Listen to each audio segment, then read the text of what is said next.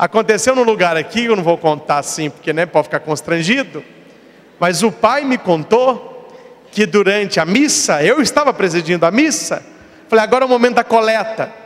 Sejam generosos para a construção de Frei Galvão. Aí todo mundo começou a colocar o dinheiro. Uma criança chegou perto do pai e o pai falou assim: aqui, ó, coloca essa nota lá. A criança pegou a nota e colocou no balainho. Tinha uma outra criança vendo. E criança gosta de imitar.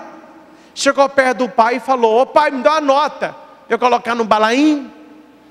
Aí o pai abriu a carteira, mexeu, mexeu, falou assim: tem nota não, tem moeda. Ela falou assim: não, moeda não, eu quero nota. Não tem nota não, menino.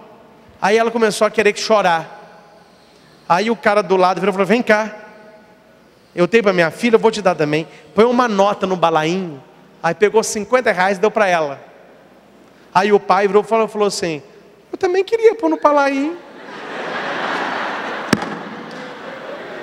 Aí foi um riso geral, né? Mas falou brincando, mas falou: ah, Eu quero pôr uma nota no balainho. Aí eu vi o cara falou: oh, O pato também quer pôr uma nota aí no, no balainho. Gente, o que, que é o foco? O foco não está na quantia que se dá, naquilo que se vai, mas nem onde se vai, mas está naquilo que eu quero, com aquilo que eu faço, com aquilo que eu digo e aonde eu vou. Quem não tem foco vai se perder neste mundo, porque o mundo está cada vez mais atrativo e distraído. Ah, hoje eu vou sair que eu quero me distrair. Raramente a pessoa que quer se distrair, ela não vem à igreja, ela vai para lugares onde tem distração. E assim ela vai distraindo, ela começa a ficar distraída e ela esquece que o foco dela é ir para onde? Para a montanha. E ela começa a querer morar onde? Na planície. Planície é lugar de facilidade, acomodação, ilusão. Repita comigo: loucura é buscar o certo no lugar errado.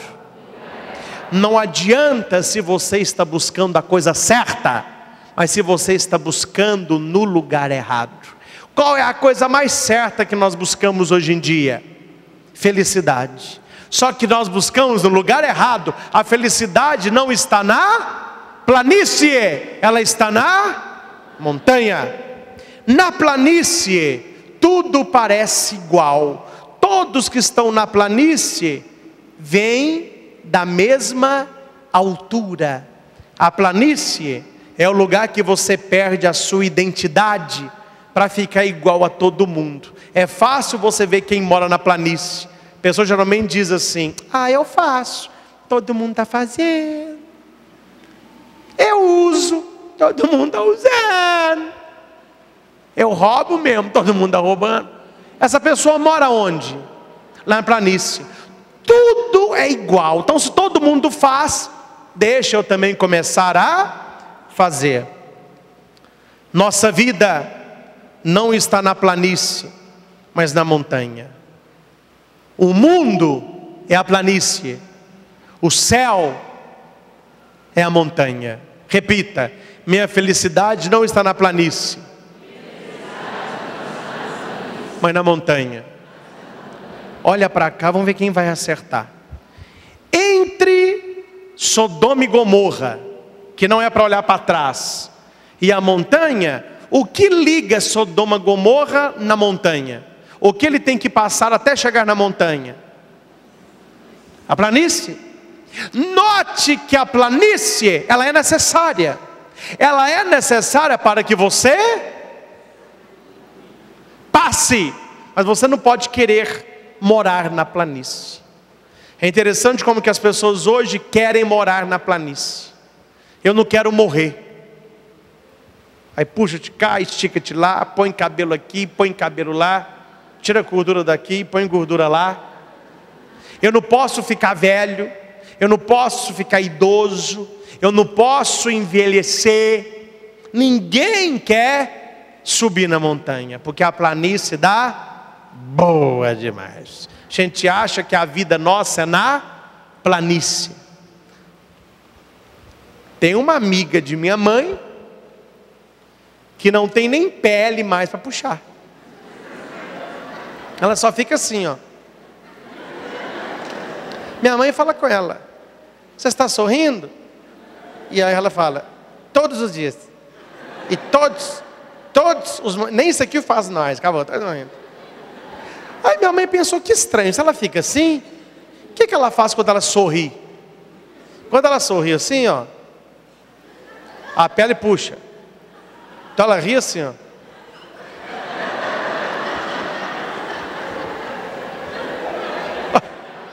Minha irmã, eu não sou contra melhorar. Eu sou até light nesse ponto. Se você pode melhorar, melhore.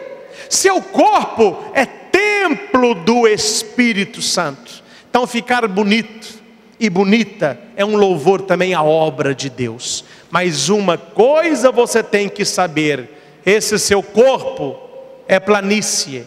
Se você quiser morar eternamente aí, você será uma criatura infeliz, porque a planície passa, o que não passa é a montanha. Aí vem o terceiro conselho: fuja para as montanhas. Qual é o primeiro conselho? Nós já falamos sobre isso. Se você quer assumir os propósitos de Deus, não olhe para trás. O segundo é mais difícil para nós. A gente gosta de uma planície, viu? O negócio aqui é bom. Parou um ônibus cheio de irmã de caridade. Entrou o tonto.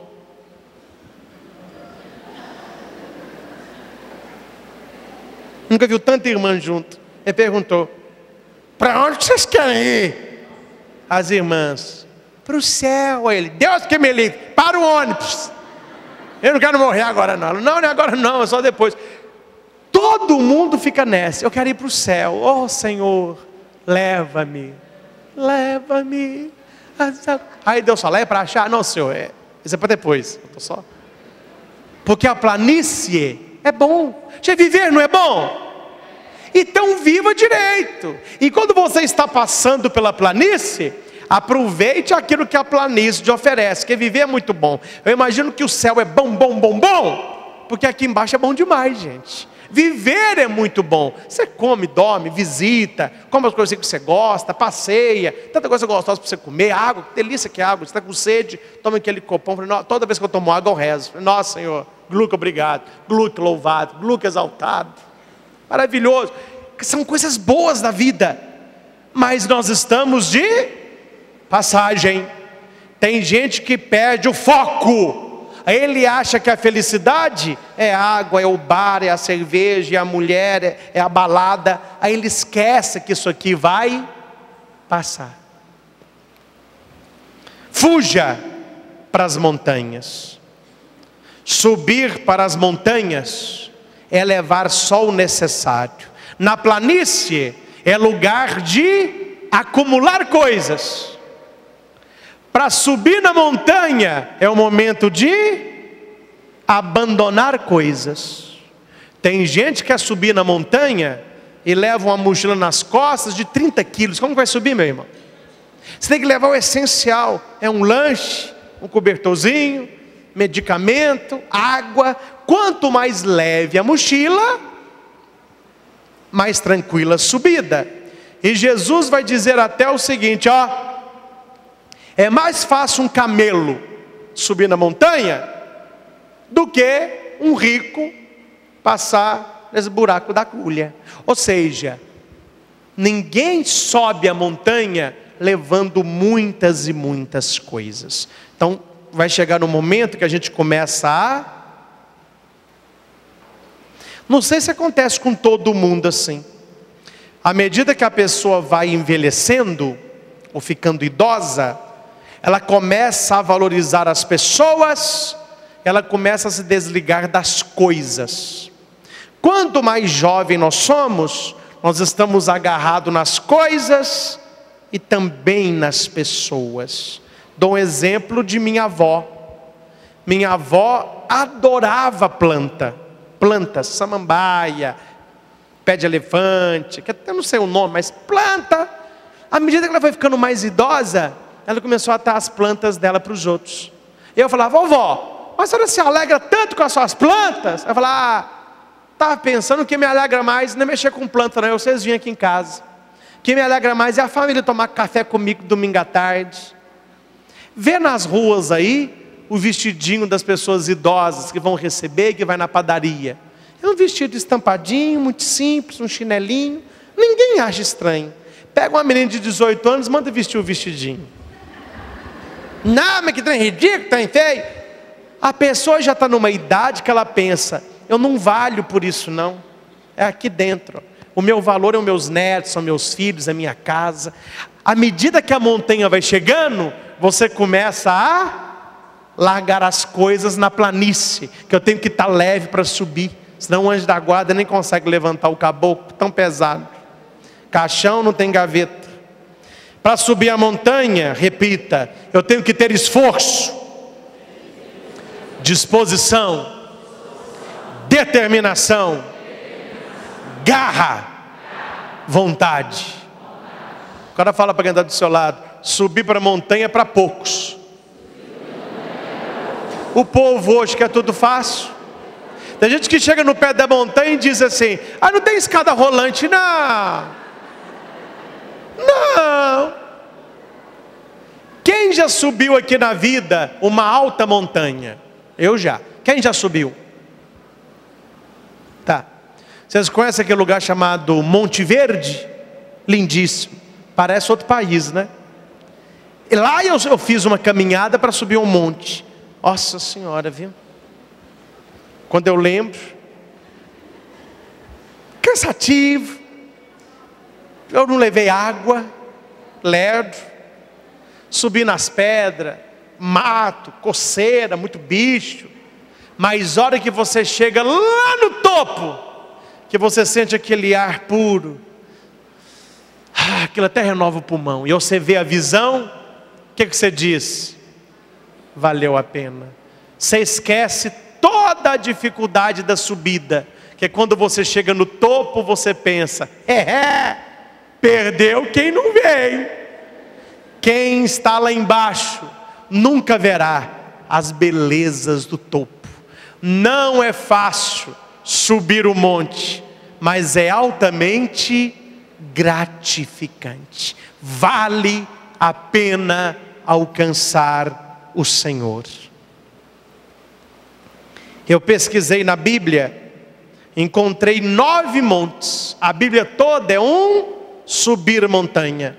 A vida, a Bíblia toda é um. Tudo que é importante acontece na montanha. Vou só citar para você, não vou explicar não. Eu vou dizer um monte, você repita, eu explico. Monte Moriá foi onde Abraão ia ofertar o seu filho Isaac. Monte Sião foi onde a arca da aliança ficou até construir o santuário. E na Bíblia, Monte Sião equivale à Terra Santa. Terceiro, Monte Sinai ou Monte Horebe é onde Deus deu para Moisés as tábuas dos dez mandamentos. Monte Nebo foi o cume onde Moisés viu a terra prometida. Monte Carmelo foi onde Elias venceu os 400 profetas de Baal. Monte das Tentações foi onde Cristo ficou 40 dias vencendo as tentações do diabo. Monte das Bem-aventuranças. Foi onde Jesus falou aquela passagem maravilhosa, bem-aventurados pobres, bem, chama Monte das Bem-aventuranças.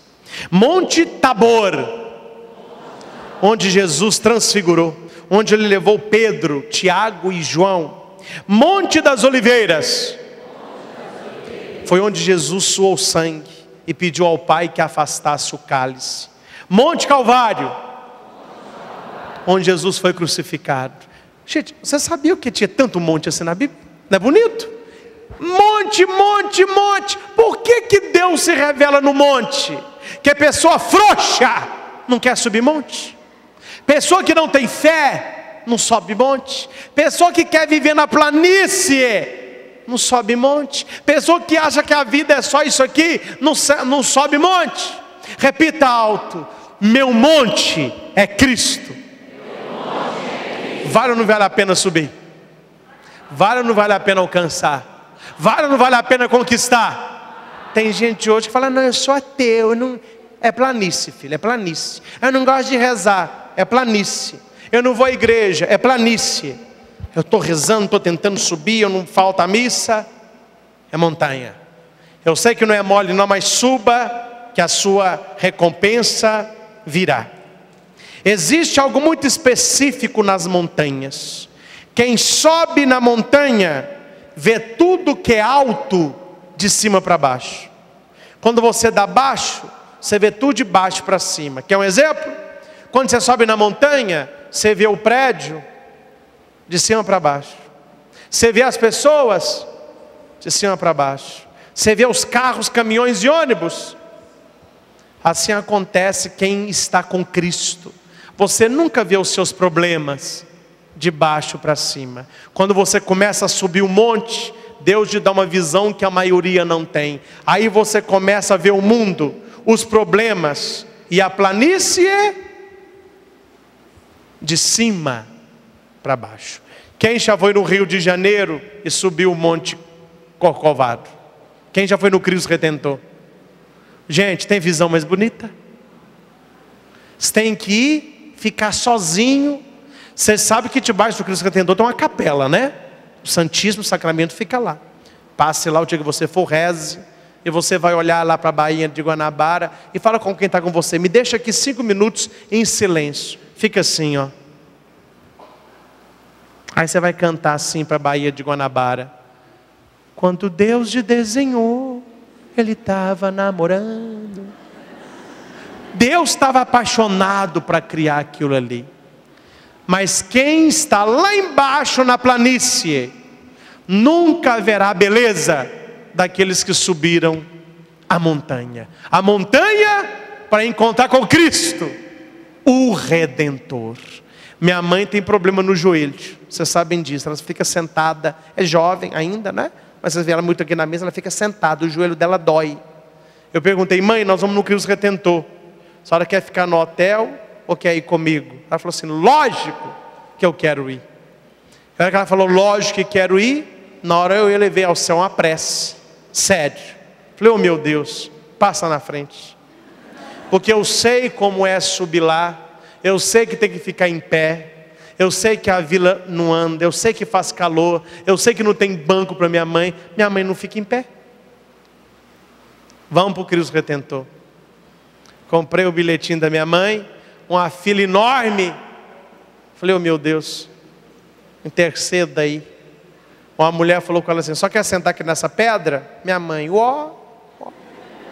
Aí sentou na pedrinha. Depois que levantou, não sentou mais desceu, esperamos o elevador, subiu no primeiro pavimento, subiu no segundo, tinha uma escadaria enorme para chegar no Cristo Retentor. Ela subiu devagarinho, degrau por degrau, foi no Santíssimo, olhou para o Cristo Retentor, chorou como sempre. Chegou lá na ponta, olhou para a Baía de Guanabara e sorriu. Eu falei, mamãe, o joelho da senhora está doendo? Ela perguntou para mim assim: Que joelho? Você entendeu? Para subir é difícil, mas depois que sobe, valeu a pena. Nós estamos subindo a montanha, eu estou subindo a montanha, não é fácil subir, temos que abrir mão de muitas coisas boas da planície mas um dia nós vamos chegar lá. E quando chegando lá, o Cristo Redentor vai estar nos esperando. Aí você vai olhar para Cristo, vai olhar para quem ficou aqui embaixo e vai dizer: valeu a pena, valeu a pena, é, é, valeu a pena. É, é. Fala para quem está do seu lado, não pare na planície, porque o troféu está no alto da montanha.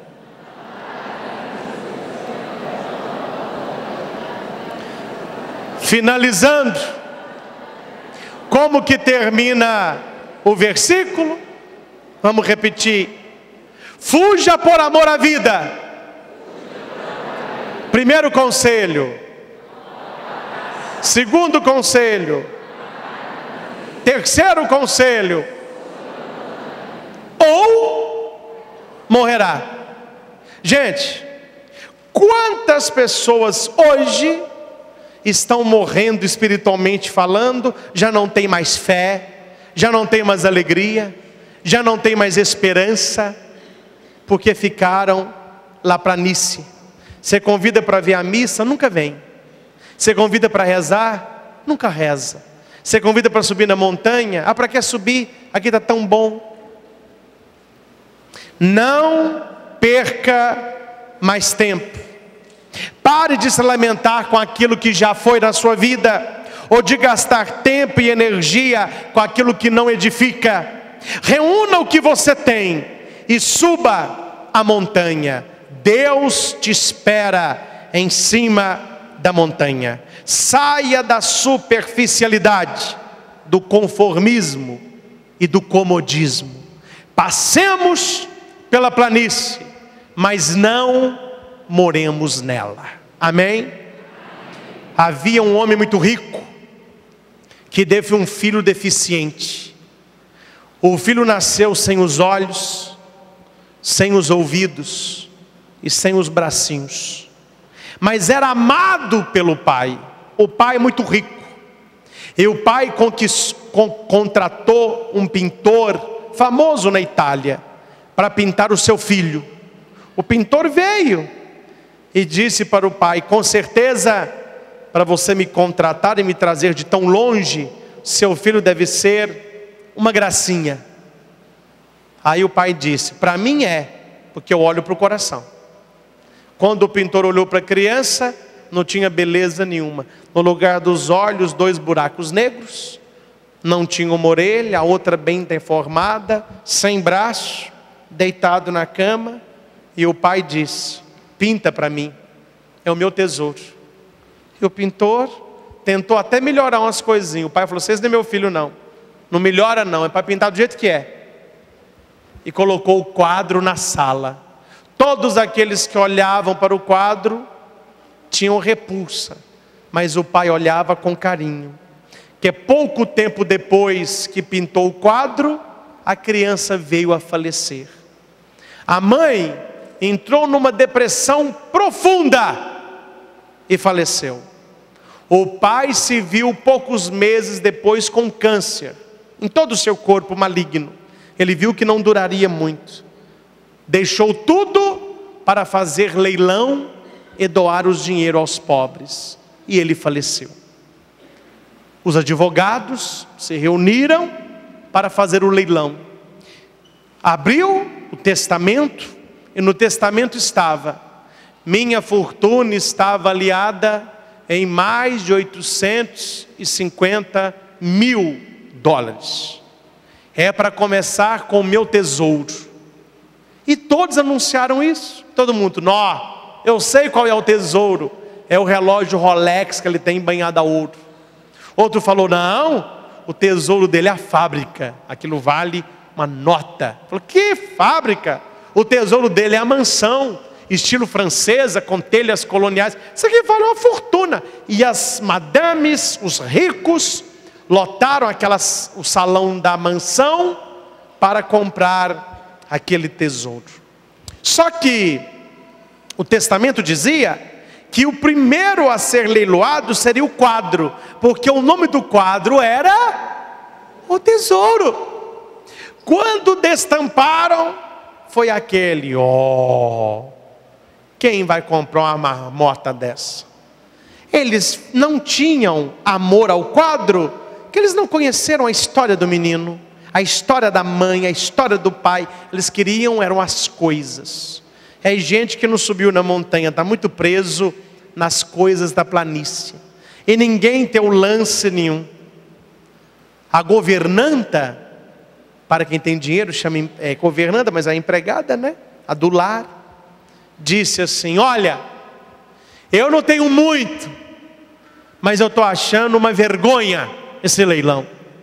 O verdadeiro tesouro para o dono disso tudo não eram as coisas, mas era o filho. Eu tenho o meu salário, não é nem dólares, é em real mesmo, e cada vez mais valorizado comparando com o dólar. Se quiser o meu salário, eu tenho 700 reais do meu salário. Uma madame falou com ela: tá caro para o quadro, hein? Eu quero tudo. Pagou os 700 e pegou o quadro. Aí todo mundo, tá bom, vamos continuar o leilão. Quando ela pegou o quadro, caiu um envelope atrás do quadro. Aí alguém disse: O envelope não, você comprou o quadro. Quando eles abrem o envelope, estava uma carta registrada em cartório com o título Segundo Testamento.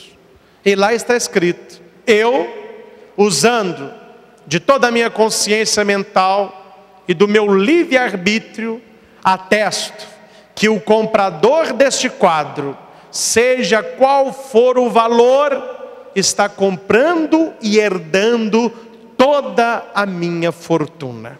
E aquela mulher pobre se viu da noite por dia milionária, porque ela comprou o quadro de real valor.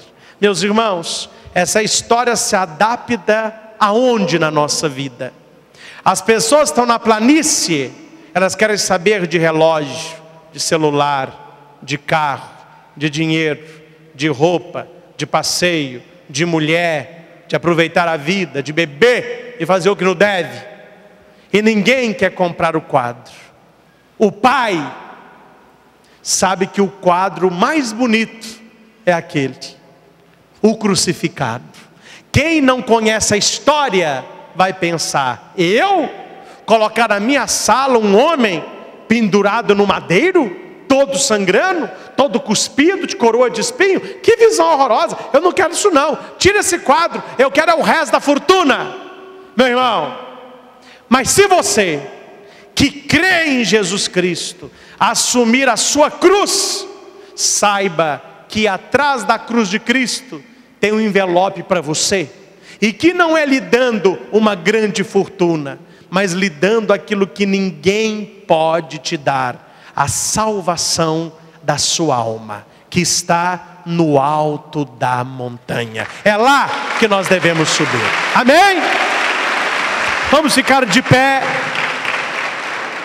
Coloque a mão no seu coração e reze comigo. Eu vou rezando, você não precisa repetir, mas tome posse desta oração. Deus eterno e todo-poderoso, eu exalto, bendigo o teu santo nome. Muito obrigado, Senhor, pela pregação desta noite. Foi exatamente para isso que eu vim aqui, para escutar esta palavra. Ajuda-me a subir a montanha. Ajuda-me, Senhor, a não olhar para trás a minha vida passada, os meus pecados passados, as coisas ruins que eu fiz ontem, tudo isso já está no teu coração. Eu não quero retroceder, eu não quero voltar atrás, eu não quero voltar a pecar. Não me deixe, Senhor, me iludir com as distrações da planície e ajuda-me a subir para a montanha. É no alto da montanha que o Senhor me espera. É no alto da montanha que está a minha bênção. É no alto da montanha que está a minha graça. É no alto da montanha que está a minha felicidade. Porque aqueles que permanecerem na montanha serão salvos. Mas aqueles que resolveram ficar na planície morrerão. Senhor, eu não quero mais perder tempo eu não quero me lamentar por aquilo que já foi, eu não quero gastar o meu tempo e energia com aquilo que não me edifica. Eu assumo hoje a cruz de nosso Senhor e Salvador Jesus Cristo, porque assumindo este quadro, amado pelo Pai, Jesus Cristo é a pintura, a cruz é a moldura. Eu quero comprar este quadro eu tenho fé neste quadro. Eu acredito em Jesus. E adquirindo este quadro, eu adquiro o bem maior, a minha salvação. Senhor, eu amo a minha vida, por isso eu não quero mais olhar para o meu passado, eu não quero parar na planície das distrações deste mundo, mas eu quero fugir para a montanha, para a montanha que é Deus para a montanha que é Cristo, a montanha da minha vitória.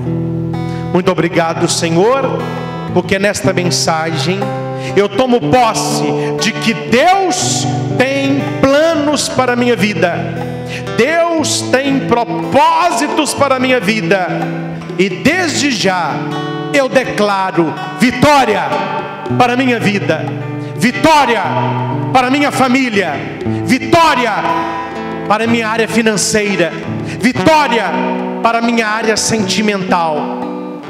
Eu não quero morar em Sodoma e Gomorra, não quero olhar para trás, não quero parar na planície, mas quero subir a montanha. Por esta pregação, pelas graças que o Senhor derrama em nós, louvado seja nosso Senhor Jesus Cristo eu tomo posse desta pregação. Juntos, em nome do Pai, do Filho e do Espírito Santo. E vale a pena aplaudir a palavra de Deus.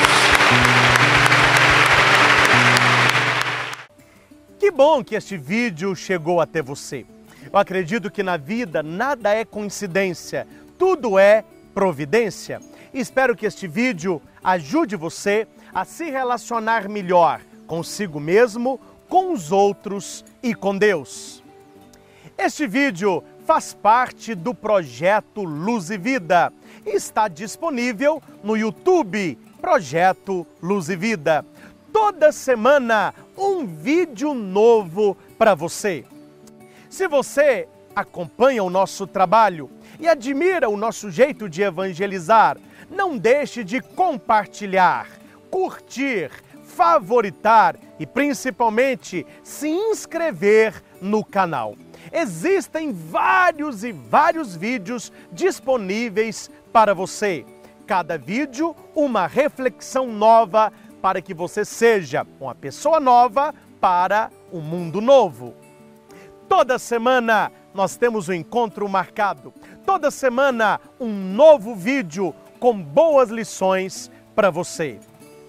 Muito obrigado pelo seu carinho, obrigado por fazer parte desta grande família do projeto Luz e Vida. Que Deus te abençoe e até o próximo vídeo.